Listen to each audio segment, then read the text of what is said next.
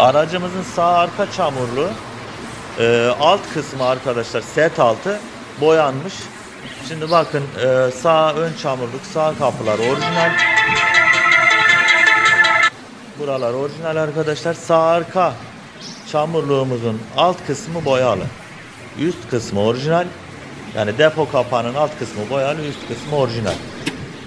Ve mikron birebir orijinal mikronunu veriyor arkadaşlar. Aracımızın geneli 90 ila 130-140 mikron arası. Bakın orijinal yer, orijinal bölüm 120 mikron, boyalı bölüm bölümümüz yine 100 ile 130 mikron aralığında, 110 mikron, 120 mikron böyle değer veriyor arkadaşlar. Çok güzel de bir işçilik yapılmış.